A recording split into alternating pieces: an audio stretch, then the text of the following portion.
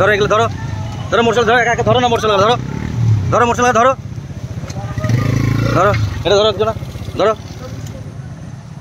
নির্বাচন বিধি ভঙ্গ করে বাইক মিছিল করায় আট কংগ্রেস কর্মীকে গ্রেপ্তার করল রানীনগর থানার পুলিশ।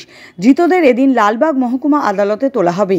গতকাল রানীনগর থানার অন্তর্গত কাতলামারি এক নম্বর গ্রাম পঞ্চায়েতের পালপাড়া এলাকায় কংগ্রেসের পক্ষ থেকে বাইক মিছিল করা হয় বলে অভিযোগ। নির্বাচন বিধি ভঙ্গ করে এই বাইক মিছিল করায় গতকাল রাতে আট কংগ্রেস কর্মীকে গ্রেপ্তার করে ও চারটি বাইক আটক করা হয়। এই গাড়িতে তুলো ওদেরকে।